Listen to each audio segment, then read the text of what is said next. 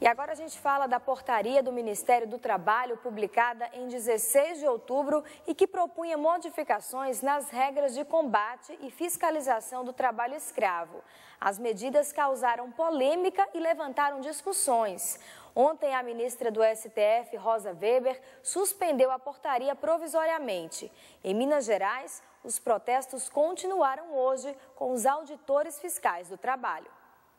Na semana passada, auditores fiscais do trabalho em todo o Brasil paralisaram as ações até que a portaria 1129 fosse revogada. A portaria editada pelo ministro do Trabalho na semana passada, ela rompeu com toda a legalidade, seja da Constituição Federal, seja das convenções e tratados internacionais e do próprio Código Penal em vigor no país, né?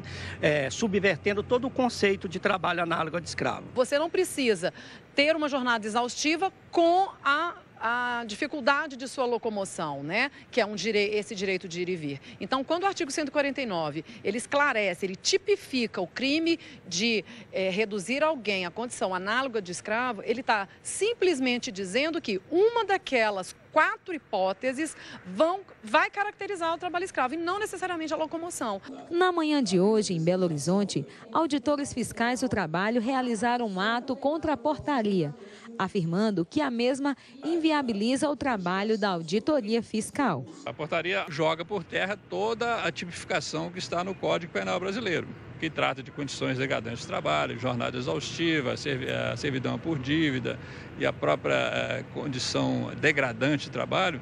As autoridades presentes afirmaram que a portaria, além de ser inconstitucional, também enfraquece a proteção do trabalhador. Colocar como condicionante a supressão da liberdade de ir e vir é uma ignorância jurídica, é uma ilegalidade. Quem fez isso não conhece a legislação, não conhece a Constituição, não conhece os tratados internacionais. O ato público repudia a portaria e, segundo os auditores fiscais, o trabalho escravo contemporâneo não pode ser caracterizado na liberdade de ir e vir. A portaria que provocou muitas críticas foi ontem suspensa pela ministra do Superior Tribunal Federal, Rosa Weber.